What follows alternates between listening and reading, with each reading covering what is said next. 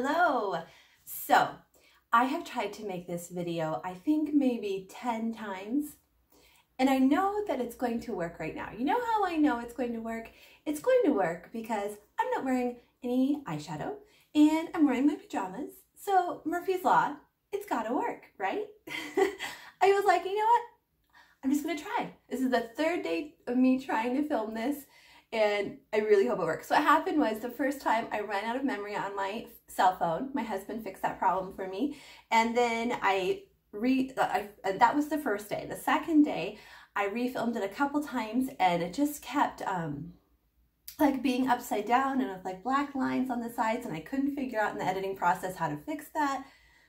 So, anywho, this is where we are. If you are watching this video, it means it worked. And if it worked, you know that I am somewhere doing the happy dance, which looks something like this. I really hope this works. If it does, then please, if it does, you don't have to like and subscribe to my channel if this works. But if you, this is Life in Envelopes and I am Jennifer Bleacher. This channel is all about budgeting, paying off debt, and retiring early. So if you if those are topics that you are also interested in, then please like this video and subscribe to my channel. Thanks everyone. So I have tried filming this many times, as I told you, where I write everything out with you, but I thought this time I would just go over what I have already written out. This is like the 10th time that I wrote it out. So let's just go over the numbers. This is for my second paycheck in February. I get paid on the 20th. I'm estimating that I will be paid approximately 3,894. This is our big check of the month. And then we also had a rollover of 236 from the month before. And where I got that number from was this section of our budget. This section of the budget worksheet is actually designated for paying off extra debt. But what I wanted to do, this is the first time I'm trying to do my bills we uh, paycheck to paycheck versus like one one spreadsheet for the whole month. So I didn't know if I would have enough money at the end of the month to cover everything. So to be safe, I didn't want to pay off any extra debt or put this towards my um, $1,000, what's it called? $1,000 emergency fund um, until I knew that I did not need this to, to pay bills in the next half of the month. So that's where I got that amount, the rollover amount. So let's look at this first section. This is my fixed expenses during the month. So what that means is the amount on here doesn't change much from month to month. Gas is probably the most variable expense on here. And the reason why I have it in this section instead of down below in my cash envelope section is because it um, it's very cold here. to be honest, it's very cold here. For example, today it's negative 36 degrees with the wind chill. It's so cold that we don't have school, which is very rare. We rarely cancel school because of cold weather. If we have, if our, for example, if our if our um, temperature at recess time is one degree or warmer, we still go outside with our kids. So we are used to cold temperatures, but negative 36 is very, very cold. But it's uncomfortable to be outside, so that's why we we um, pump at we use our card to pump gas instead of running in to pay, just to save us from being outside any longer than we absolutely have to be. So here are our fixed expenses, and let's go over them quickly. Netflix is $14. Our car payment is 445. We have a loan, we have two loans. These are debt consolidation loans, credit card debt consolidation loans.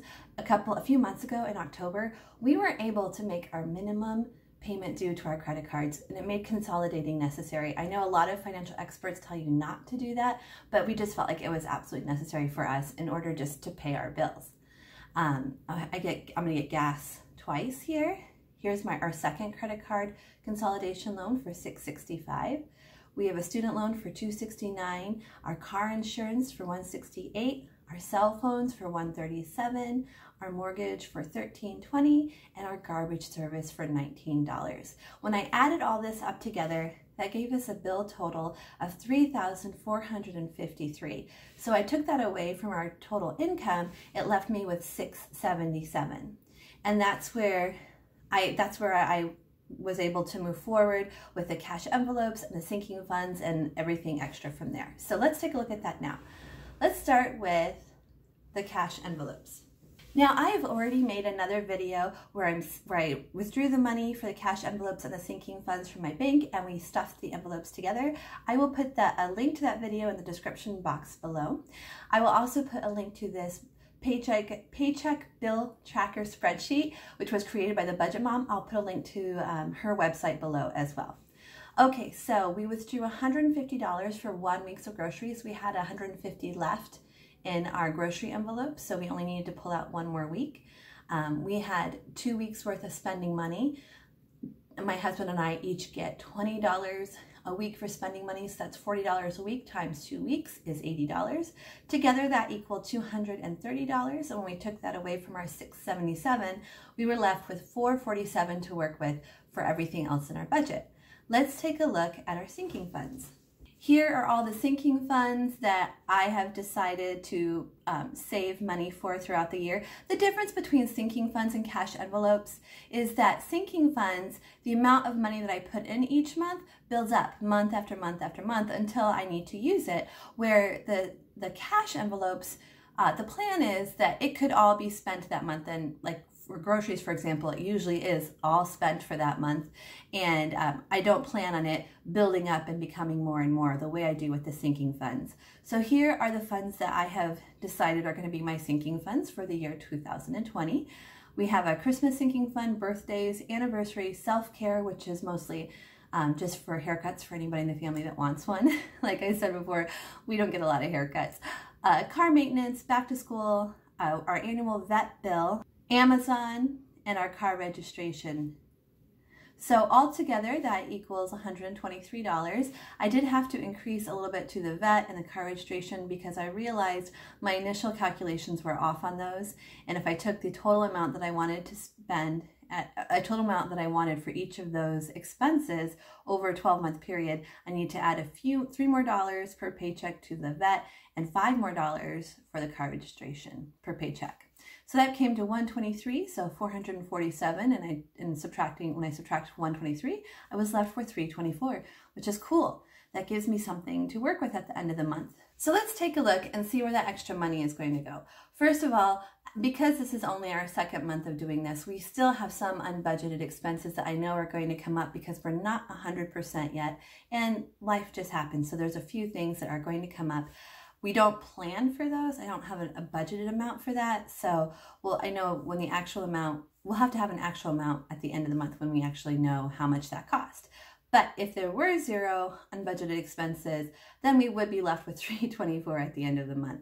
So 324. Now, Unfortunately, it is time for to register my car.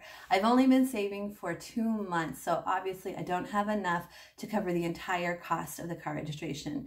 So I took the cost of the registration, I subtracted what I had in my cash envelope for my car registration, and what I need what I'm left with having to pay is $315. So when I take that away from the 324, that leaves me with $9, which I will be putting towards my emergency fund. And I know $9 does not sound like much, but I think that it's important for me to end with a zero budget and for me to have a place at the end of the month for all of my money. So that is the plan. I'm really looking forward to February being over just so that I can go in and plug in the actual numbers and see how this all works out. So that will be coming in a future video. Thank you guys so much for watching. Like I said, maybe the 10th time is a charm and this video is actually going to go up. Fingers crossed. Um, I will see you guys again next time. Thanks everyone. Bye.